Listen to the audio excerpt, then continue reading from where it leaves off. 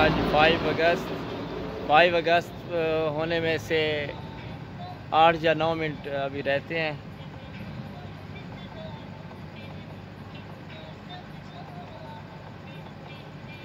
हम ड्यूटी कर रहे हैं नाइट ड्यूटी गोटा पे।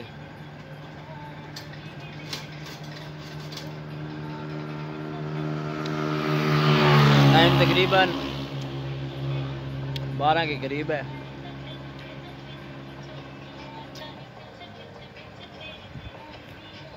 सजना द डेरा घोटा बादाम हाउस।